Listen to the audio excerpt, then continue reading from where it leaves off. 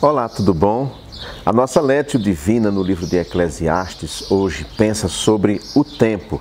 Esse é talvez o texto mais conhecido desse livro que diz o seguinte: Tudo tem uma ocasião certa e há um tempo certo para todo propósito debaixo do céu. Tempo de nascer e tempo de morrer.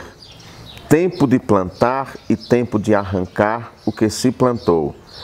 Tempo de matar e tempo de curar tempo de derrubar e tempo de edificar. E assim segue o texto falando sobre a questão da temporalidade, sobre a divisão, digamos assim, dos acontecimentos, dos fatos.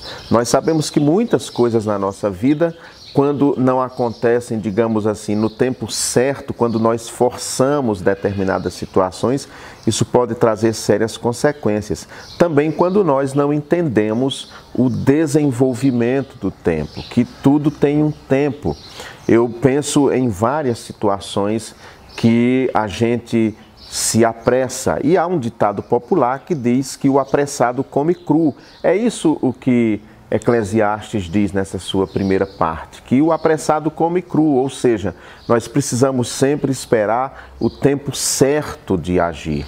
Há tempo de paz, há tempo de guerra, há tempo de ser doce, há tempo de ser duro, há tempo de levar conforto, mas há tempo também de levar exortação às pessoas. Essa é a ideia. E a grande dificuldade, ou mais do que isso, o grande segredo é nós descobrirmos o tempo certo de agir. No segundo momento, ele pensa sobre a eternidade do nosso coração, que é algo também muito importante para que nós possamos é, é, viver de maneira equilibrada. Diz assim: o que ganha o trabalhador com todo o seu esforço? Tenho visto a tarefa difícil que Deus deu aos homens para nela se ocuparem. Tudo que ele fez é apropriado ao seu tempo também colocou a eternidade no coração do homem. Mesmo assim, ele jamais chega a compreender inteiramente o que Deus fez. Nós temos a centelha da eternidade no nosso coração. Por isso que ansiamos a vida eterna. Mesmo aquelas pessoas que não têm uma fé cristã, uma fé bíblica, muitas delas anseiam a vida eterna. Por isso que se é, empenham em cultos de, de adoração, ainda que sejam cultos pagãos. É o que vemos nas sociedades antigas, nas sociedades, digamos assim, primitivas, essa manifestação pelo sagrado, pelo belo, porque Deus colocou no nosso coração a centelha da eternidade. Por fim, o texto nos fala que a morte é certa para todos. Eu penso que isso é uma coisa muito boa. Imagina se apenas uns morressem e outros ficassem vivos, né?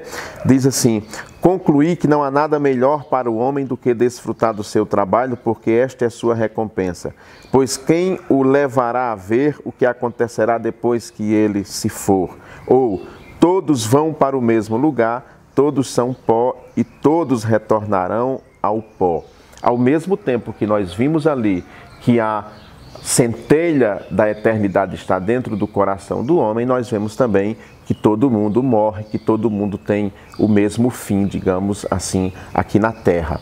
Não há um privilegiado. A morte vem e leva ricos, pobres, negros, brancos, homens, mulheres, idosos e crianças. É para todo mundo. Não há distinção. Se tem uma certeza que nós temos, essa certeza diz respeito à morte. Que nós pensemos nestas questões que são tão importantes, que são vitais para a nossa vida. A questão do tempo, da temporalidade, a questão da eternidade que está em nosso coração, mas também essa questão tão importante e que tanto nos angustia, que é a morte, ou seja, há um fim para a vida aqui na terra. Que Deus o abençoe. Até nosso próximo Létio Divina.